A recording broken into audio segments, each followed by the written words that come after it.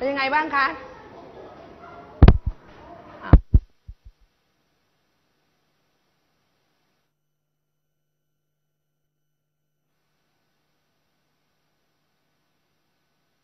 มาแล้วสองปีคะ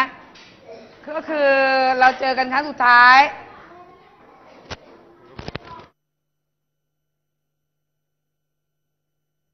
อะไรนะ วันที่สามสิบ ธันวาคมใช่ไหมคะ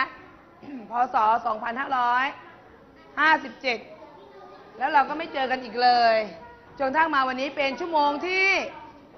ชั่วโมงที่หนึ่งหาชั่วโมงที่หนึ่งที่คุณครูเจอกับนักเรียนนะคะเจอกับนักเรียนปหนึ่งใช่ไหมคะ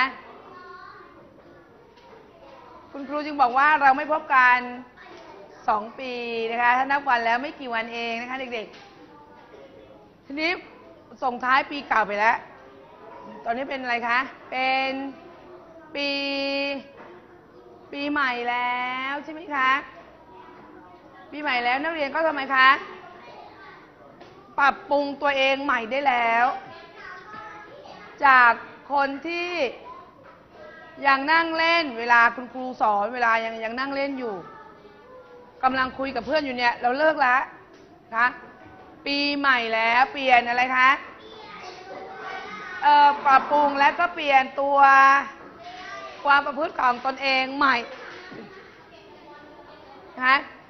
เพราะว่าเหลือเวลาเรียนอีกกี่เดือนนะนักเรียนเดือน เดือนนี้เดือนอะไรเอ่ยเดือนมกราคม ต่อไปเป็นเดือน กุมภาพันธ์ต่อจากเดือนกุมภาพันธ์ก็ไปเป็นเดือน มีนาคมเดือนมีนาคมนี้เราต้องมาโรงเรียนอีกไหม ไม่มาแล้วนะคะ เราอาจจะมาต้นเดือนมีนาคม ไม่เกินวันที่สิบใช่ไหมคะเราจะทำอะไรเอ่ย เราจะสอบกันนะคะ สอบปลายภาคเรียนที่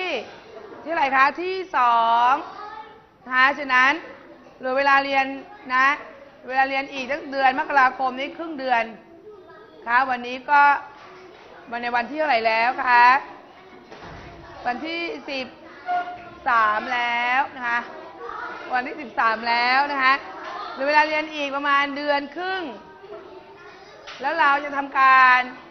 สอบปลายภาคเรียนฉะนั้น นักเรียนควรจะปรับปรุงตนเองแล้วนะคะปรับปรุงตนเองแล้วนะคะให้เป็นเด็กนะคะเด็กที่เตรียมความพร้อมรับรู้ในเรื่องราวต่างๆ เอาละค่ะฉะนั้นวันนี้นะคะ เอาวันนี้เรามาเรียนรู้ในกิจกรรมเสริมภาษาไทยกันดีกว่าค่ะคุณครูมีเรื่องราวอะไรมาฝากเด็กๆด้วยนะอะดูซิวันนี้คุณครูมีเรื่องราวมาฝากเด็ก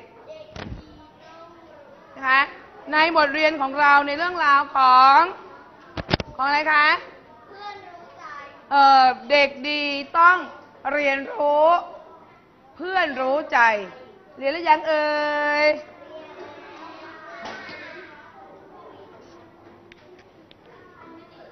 นักเรียนเรียนไปแล้วหรือยังคะ เรียนแล้วนะคะ ฉะนั้นคุณครูขอย้อนกลับไป ย้อนกลับไปในเรื่องราวของอะไรนะ เรื่องราวของ ย้อนไปในวันเสาร์ที่ 10 เดือนมกราคมนะคะมันเป็นวันสำคัญอะไรของเด็กนะวันอะไรคะอะอะก่อนอื่นเรามาดูตรงนี้ก่อนดีกว่า คะ ก่อนอื่นเรามาทบทวนเรื่องราวของ คำคำก็คือการนำอะไรเอ่ยพยัญชนะมาผสมกับสระทำให้เกิดเป็น เป็นอะไรเอ่ยทำให้เกิดเป็นอะไรคะทำให้เกิดเป็นคำนะคะทำให้เกิดเป็นคำซึ่งนักเรียนได้เรียนรู้มาแล้วนะคะทำให้เกิดเป็นคำ เอ่อคำก็คือพยัญชนะผสมกับสระแล้วก็ผสมตัววรรณยุกต์ทำให้เกิดเป็นคำนั่นเองนะคะทีนี้ก่อนจะเรียนนะลองมาดูซิยังจำคำฝันวันเด็กประจำปีอ่าพุทธศักราช2558 ได้ไหม ได้ไหมคะ ในเรื่องราวของวันเด็กนั้นที่นักเรียนเรียนผ่านมาแล้ว แล้วก็เอ่อนักเรียนได้ไปปฏิบัติจริงมาแล้วในวันเสาร์ที่ 10 มกราคมค่ะมีผู้ใหญ่ใจดีหลาย ๆ ท่าน มอบรางวัลให้กับเด็ก ๆ ใช่ไหมคะนักเรียนก็เรียนรู้ไปแล้วเกี่ยวกับเรื่องของความสำคัญของวันเด็กนะคะใครนะ รู้จักไหมใครเอ่ยใครคะเอ่อนายกรัฐมนตรีของเรานั่นเองคะให้คำฝันกับเราว่าอย่างไรเอาคำฝันพี่เด็กว่ายังไงคะ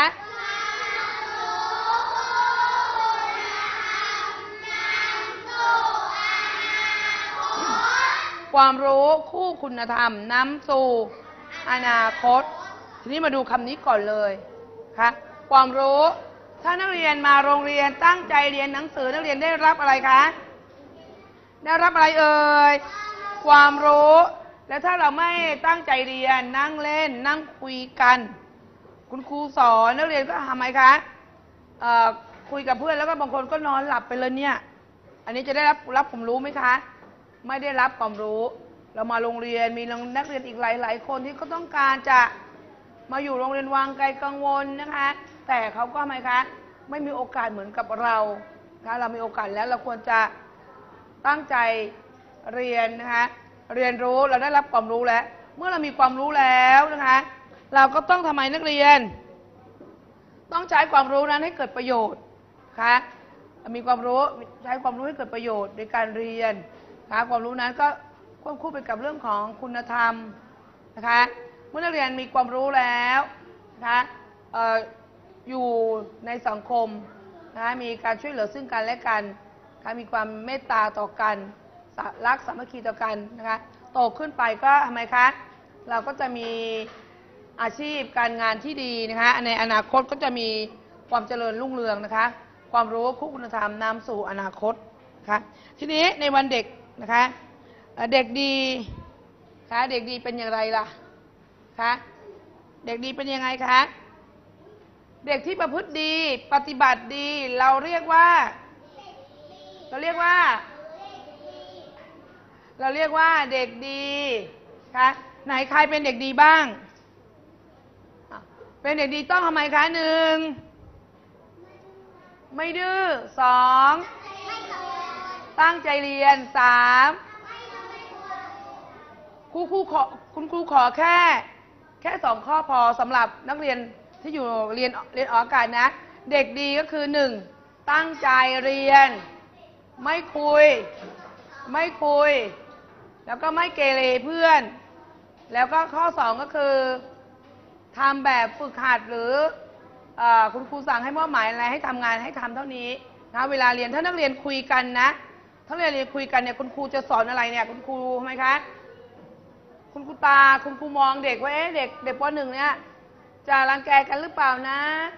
จะร้องไห้หรือเปล่านะบางทีเนื้อหาที่ครูจะสอนไปเนี่ย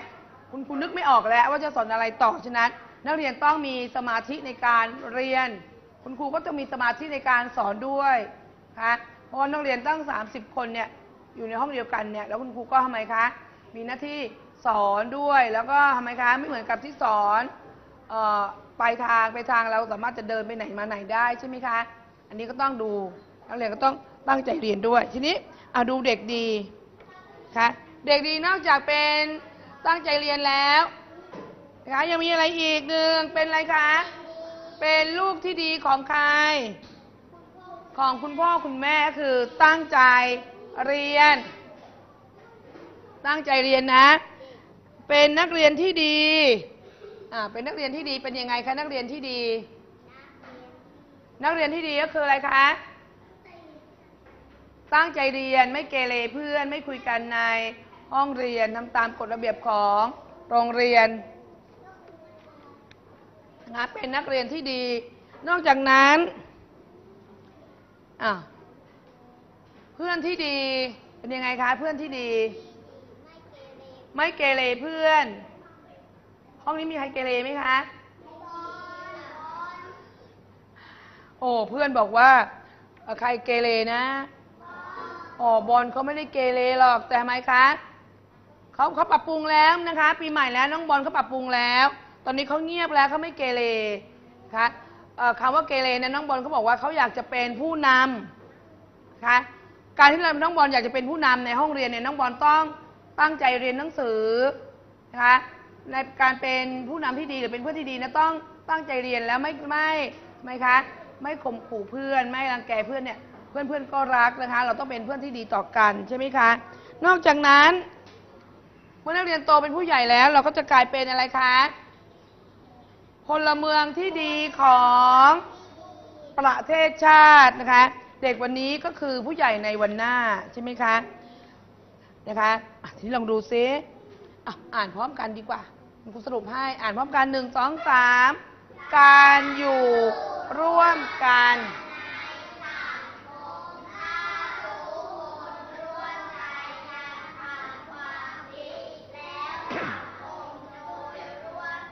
โดยรวมย่อมมีแต่ความสงบสุขนะคะ เห็นไหมคะ การอยู่ร่วมกันในสังคม ยกตัวอย่างเช่นนักเรียนอยู่ในห้องป .1 ค่ะถือว่าเป็นเป็นสังคมสังคมหนึ่งค่ะอยู่ร่วมกันต้องทำความดีค่ะในห้องเรียนเราก็จะมีความสุขค่ะฉะนั้น การทำความดีนั้นนะคะสามารถปฏิบัติได้ตามบทบาทและหน้าที่ของตนเอง เช่นนักเรียนมีหน้าที่ทำอะไรคะ เรียนหนังสือค่ะหน้าที่ตนเองก็คือมีหน้าที่เรียนหนังสือก็ต้องตั้งใจเรียนหนังสือนั่นเองค่ะอันนี้คุณนำมาฝากใน ในเรื่องราวของเด็กดีที่มีหน้าที่ต่อต่ออะไรคะ ต่อตนเองในวันเด็กนั่นเองนะคะทีนี้ก่อนที่จะเรียนเรามาทบทวนพยัญชนะไทยกันก่อนยังจำได้หรือเปล่าเอ่ยพยัญชนะไทยมีทั้งหมดกี่ตัว มีกี่ตัวคะนักเรียน มีกี่ตัวคะ44 ตัว ได้แก่อะไรกันบ้างนะ ได้แก่อะไรบ้างคะ โอ้มีในเพยัญชนะไทย 44 ตัวนะคะอันหนึ่งครูให้ดูนะ ตั้งแต่